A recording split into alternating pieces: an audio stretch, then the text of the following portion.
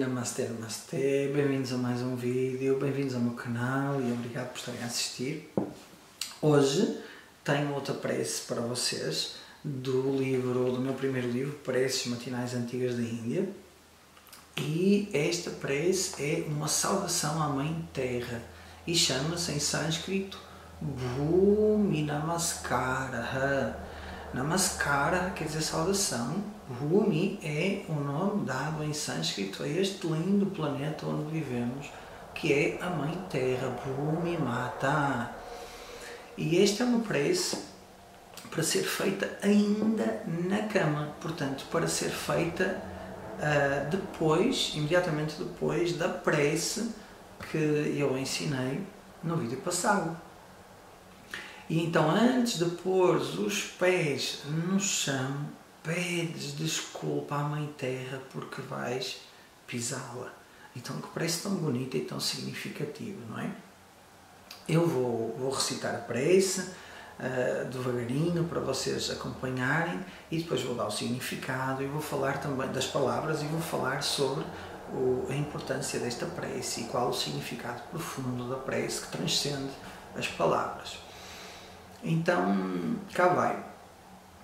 Samudravasane Devi Parvatastana Mandale Vishnu Patni Namastubhyam Padasparsham Kshamaswame Então, muito bonita. Vamos ver o significado.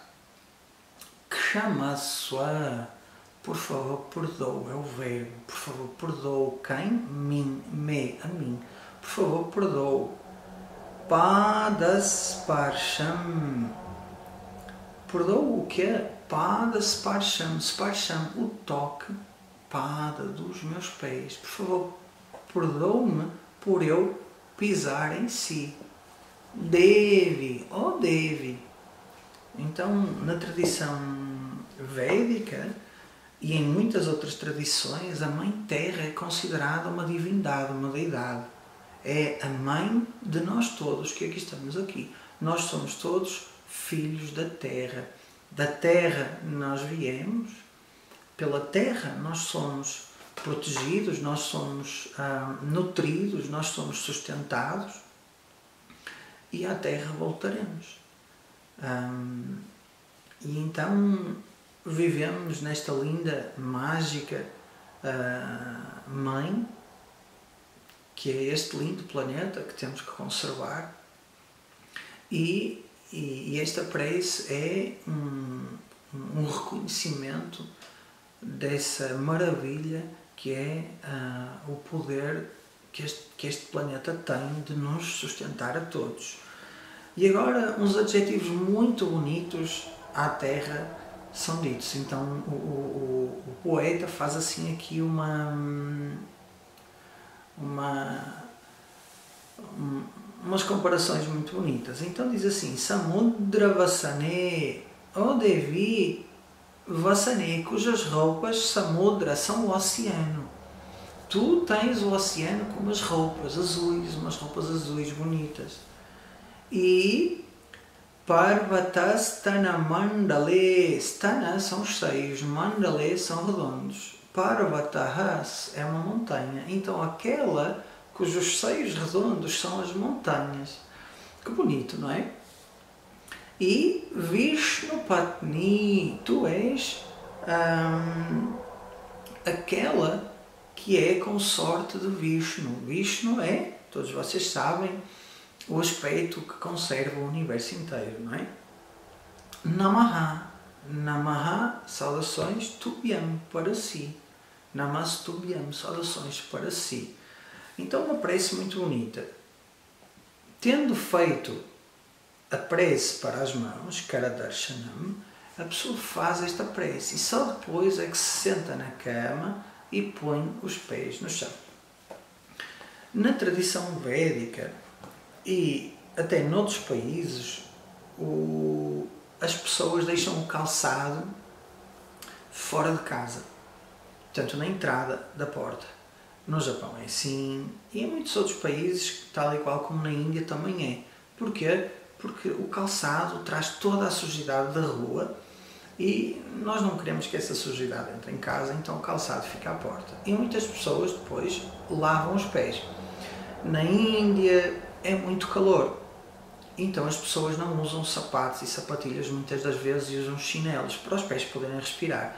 E obviamente os pés vêm com mais sujidade porque estavam uh, somente protegidos por chinelos ou sandálias. E então é comum as pessoas chegarem a casa e irem lavar os pés. Tá? Nós muitas das vezes chegamos a casa, lavamos as mãos, a cara, bebemos um copo de água. Na Índia é comum eles lavarem os pés quando chegam. E nos templos, por exemplo, um, não se pode entrar calçado, calçado, obviamente, e tem, muitos dos templos têm à entrada uma torneira com água para as pessoas lavarem os pés e salpicarem água por cima da cabeça também, que é um gesto de purificação. Então, os pés têm essa conotação de, de estarem sujos, não é? De serem impuros. E então, uh, obviamente, se eu for pôr os pés na terra, quando eu saio da cama, não é? Simbolicamente eu ponho os pés no chão, no chão e o chão simboliza a terra. Então eu vou pedir desculpa porque os meus pés ainda não foram, não foram lavados e porque são impuros. Para além disso, na tradição védica e dentro da cultura indiana, hum, não devemos ter os pés apontados para ninguém. E se às vezes as pessoas estão no chão, na Índia as pessoas sentam-se no chão, nos templos e noutros eventos, e ao andarmos, se sem querer tocarmos com o nosso pé no corpo da outra pessoa, imediatamente nós tocamos na pessoa com a mão direita e depois tocamos com a nossa mão direita, primeiro no olho direito e depois no olho esquerdo, até nas orelhas. Simbolizando o quê? Pedindo perdão. Aquilo é um, um símbolo do perdão. Aquela pessoa onde eu toquei é considerada uma divindade e é tão sagrada como os meus olhos ou como os meus ouvidos que me permitem navegar neste mundo com maior segurança. E então é dito que não devemos tocar com os pés também em livros que representam a deusa da cultura, Saraswati, da Krishnamurti, uh, não devemos tocar, calcar dinheiro. Então, sempre que isso acontece, sempre que nós tocamos com os pés num livro ou calcamos dinheiro, nós tocamos no dinheiro com a mão e voltamos a fazer o mesmo. Porquê? Porque é sagrado. O dinheiro tem uma sacralidade, permite-nos viver com, com conforto e com qualidade de vida. E um livro também, um livro é, uh, é Saraswati, é visto como Saraswati, a deusa da cultura. Então existe essa, um, existem estes costumes na Índia de pedir desculpa quando o nosso pé toca em alguém.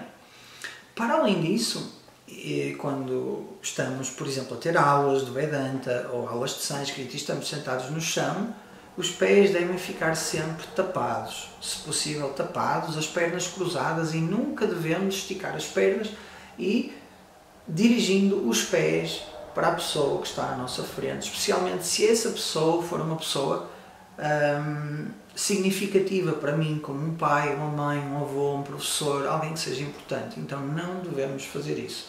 E as pessoas ortodoxas na Índia, aquelas mais ortodoxas, ficam incomodadas se virem um estrangeiro esticar o pé uh, para um professor ou para alguém que seja importante. Então o pé tem esta conotação. Ao mesmo tempo que tem esta conotação, os pés, por exemplo, do guru, os pés das pessoas que são especiais para nós, são objeto de reverência.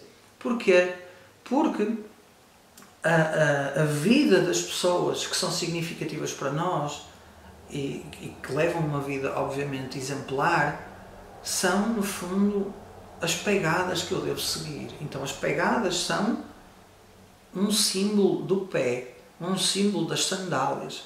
E então, quando eu toco nas sandálias, por exemplo, do guru, nas padukas, ou quando eu toco nas. quando na Índia pedem, tocam, tocam nos pés da mãe e do pai antes de sair de casa, é precisamente porque o pé da mãe, os pés da mãe, os pés do pai, os pés dos professores são considerados sagrados porque porque o caminho que eles fizeram é um exemplo. Então, seguindo esse bom exemplo, o pessoal obtém aquilo que é uh, auspicioso para ela. Então, nesse sentido, é sagrado.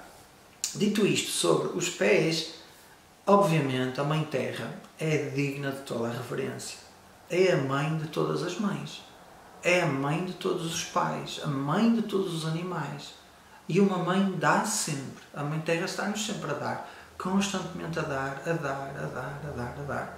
Então é, sem dúvida, hum, uma benção, uma graça podermos ter esta atitude de reverenciar este grande planeta. E quando eu vou pisar o chão, então eu vou colocar o meu pé em alguém que é significativo. Então eu devo pedir desculpa. Então é mais que apropriado pedir desculpa por estarmos a pisar a Mãe Terra. Então, prece tão bonita que é esta, que logo de manhã eu lembro-me da importância de estarmos todos conectados, a importância dos ciclos da natureza, a importância deste planeta e da forma como me dá tudo aquilo que eu preciso para sobreviver. É por causa da Terra que temos oxigênio, é por causa da Terra que temos água, é por causa da Terra que temos toda esta fauna e flora que nos permite viver num ecossistema que está equilibrado. Então é uma prece que vem imbuída de uma sensibilidade ecológica e que nos permite estabelecer uma conexão com a mãe mais profunda que há em todos nós. Todos nós temos essa mãe profunda que é um estado de ser, um estado de nutrir, um estado de cuidar, um estado sagrado. Então é isso, espero que tenham gostado desta prece. Eu gosto muito desta prece também. E se ainda não fizeram, subscrevam o canal, partilhem com os vossos amigos, carreguem lá no sininho. E, e até o próximo vídeo então. Namastê!